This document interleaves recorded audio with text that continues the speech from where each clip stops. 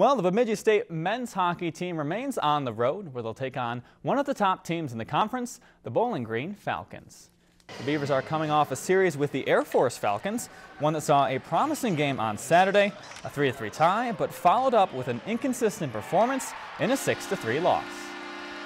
You know, there were some good parts to our game, but there was parts of our game where, hey, we were rusty. Um, it was a tough road series. Um, we were really tired, and uh, it was challenging. Bowling Green has not lost a game in their last nine contests, sitting eighth in the latest pairwise rankings, and they're a team that Coach Serratore says is not an easy one to play against.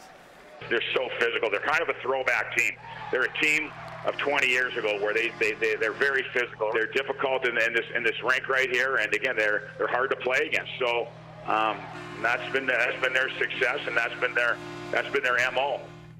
Zach Johnson will get the start in net tomorrow. His first, or excuse me, Zach Driscoll will get the start, his first in just a month. If you enjoyed this segment of Lakeland News, please consider making a tax-deductible contribution to Lakeland PBS.